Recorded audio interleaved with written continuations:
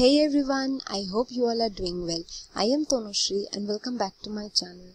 In today's video, I will be discussing about how we can convert moisture content on wet basis to dry basis or from dry basis to wet basis with the help of numericals.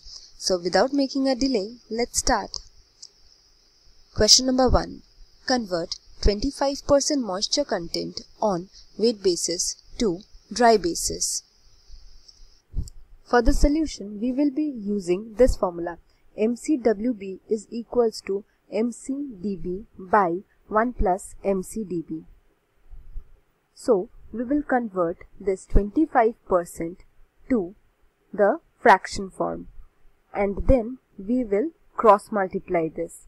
After cross multiplying and simplifying this, we will get MCDB is equals to 0.3333. As the moisture content on wet basis was given in the percentage form, so while writing the answer, we have to convert it into the percentage form. So for converting it into the percentage form, we have to multiply it with 100. So the final answer is MCDB is equals to 33.33 percent. We can solve this same numerical by this formula also. I had already discussed about this formula in my previous video. The link is in my description box. If you wish to check it, you can check it.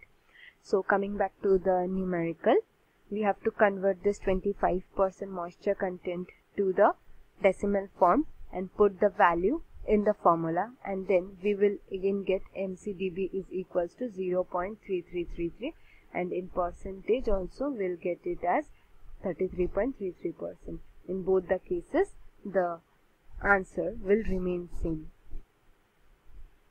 Moving on to the next question, question number 2.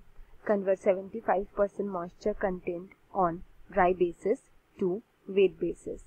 Here also we will use the same formula that we did in the previous question that is MCWB is equals to MCDB by 1 plus MCDB.